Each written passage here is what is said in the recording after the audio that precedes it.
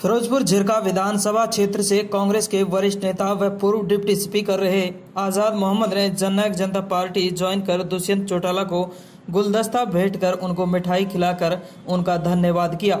बुधवार को पूर्व डिप्टी स्पीकर आज़ाद मोहम्मद ने हरियाणा प्रदेश इनसो के अध्यक्ष व हरियाणा के उप मुख्यमंत्री माननीय श्री दुष्यंत चौटाला को जननायक जनता पार्टी ज्वाइन कर उनको मिठाई खिलाकर उनको गुलदस्ता भेंट किया।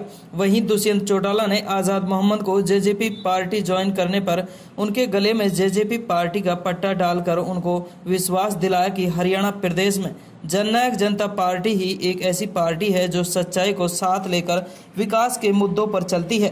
पूर्व डिप्टी स्पीकर आज़ाद मोहम्मद ने कांग्रेस पार्टी पर टिकटों में धांधली का आरोप लगाते हुए जननायक जनता पार्टी का दामन थाम लिया है। उन्होंने कहा कि इलाके को विकास से पीछे नहीं रहने दिया जाएगा।